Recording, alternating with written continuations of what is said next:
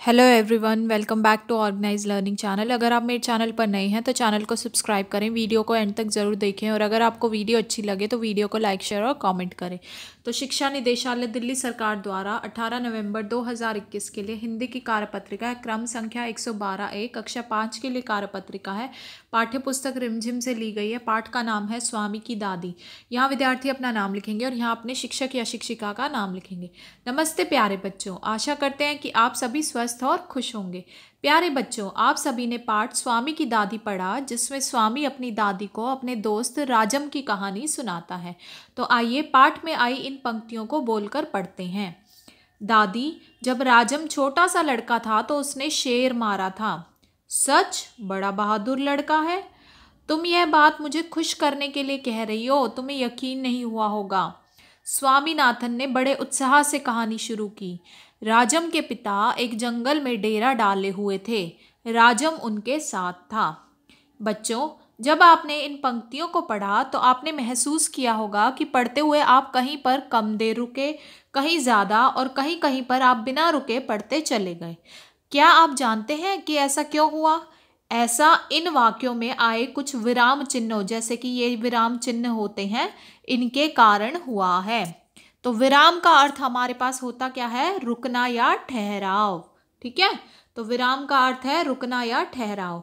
लिखते समय विराम अथवा भावों का बोध करवाने के लिए विराम चिन्हों का प्रयोग किया जाता है।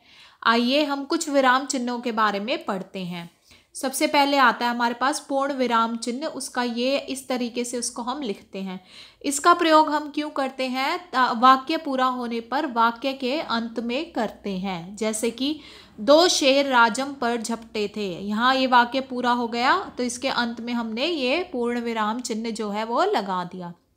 अगला आता है प्रश्नवाचक चिन्ह। ये इस तरीके से होता है।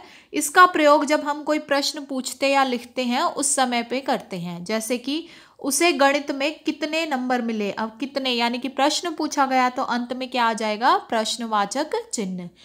अगला आता है अल्प विराम चिन्ह। इसका प्रयोग वाक्य में कुछ देर अगर हमें रुकना हो, तब हम करते हैं। और इसमें बोलते समय पूर्ण विराम से कम देर विराम दिया जाता है। जैसे कि बक्से में इलायची, अब हमें थोड़ी देर रुकना पड़ा। तो उसके लिए हमने ये अल्प विराम चिन्ह लगाया। लौंग और सुपारी रखे हुए थे और यहाँ पर वाक्य खत्म हो गया तो पूर्ण विराम चिन्ह आ गया। अगला है विस्मय आदि बोधक चिन्ह। ये इस तरीके का होता है। इसका प्रयोग अगर दुख हो, कोई खुशी हो या आश्चर्य हो या घृणा, इस तरीके के भाव अगर प्रकट करने हो वाक्य में तो इस, ये चिन्ह हम इस्तेमाल करते हैं। जैसे कि, ओ दादी जैसे वो अभी थोड़ा सा आश्चर्य में है या फिर वो दादी को थोड़ा बोल रहा है कि आश्चर्य प्रकट करके बोल रहा है दादी को। तो इसलिए दादी के बाद ये चिन्ह आ गया। तुम नहीं जानती राजम कितनी ऊँची चीज़ है, ठीक है? अब आगे देखते हैं। स्वामीनाथन को समझ नहीं आ रहा कि नीचे लिखे वाक्यों में वह कहाँ पर कौन सा विराम चिन्ह लगाए। तो क्या आप सही जगह पर उपयुक्त विराम चिन्ह लगाने में उसकी मदद करेंगे? और विराम चिन्ह लगाने के बाद इन पंक्तियों को उचित हाव भाव के साथ बोलकर भी पढ़ेंगे। तो देखो, बस काफ़ी है दादी, उसने रूखे स्वर में कहा। अब यहाँ पर वो रुका, थोड़ी देर के लिए रुका है तो इसलिए ये अल्प विराम चिन्ह यहाँ पर आ जाएगा। मैं तुम्हें राजम के बारे में कुछ बताना चाहता हूँ। अब यहाँ पर वाक्य ख़त्म हो गया, इसलिए पूर्ण विराम। जानती हो, अब फिर से थोड़ी देर के लिए रुका वो तो अल्प विराम चिन्ह आ गया।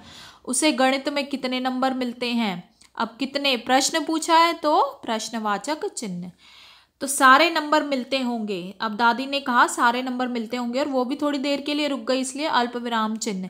है ना? और ये उससे पूछ रही है, स्वामी से पूछ रही है कि है ना, सारे नंबर मिलते होंगे ना? तो इसलिए प्रश्नवाचक चिन्ह। दादी ने पूछा, अब यहाँ पर वाक्य खत्म हो गया तो पूर्ण विराम। अरे नहीं तो वो आश्चर्य दिखा रहा है तो इसलिए ये विस्मय आदि बोधक चिन्ह आ जाएगा। उसे सौ में से नब्बे मिलते हैं। यहाँ पर वाक्य पूरा हो गया तो पूर्ण विराम चिन्ह। इस तरीके से इनको हम लिखेंगे। और अभिभावकों के लिए सुझाव रहेगा कि बच्चों को बातचीत करते हुए बताइए कि जिस प्रकार उचित हाव भाव और स्वर में उचित उतार चढ़ाव से कही गई बात को प्रभावपूर्ण बनाया जा सकता है, उसी प्रकार बोलते समय यदि मीठे और आदरपूर्ण शब्दों का प्रयोग किया जाता है तो कही गई बात का महत्व और भी अधिक हो जाता है। और इसी के साथ साथ कोरोना से बचने के लिए अपने हाथों को साबुन व पानी से नियमित रूप से सभी को धोते रहना है। तो आशा है आपको वीडियो अच्छी लगी होगी। अगर आपको वीडियो अच्छी लगी है तो वीडियो को लाइक, शेयर और कॉमेंट करें, चैनल को सब्सक्राइब करें और मिलते हैं नेक्स्ट वीडियो में।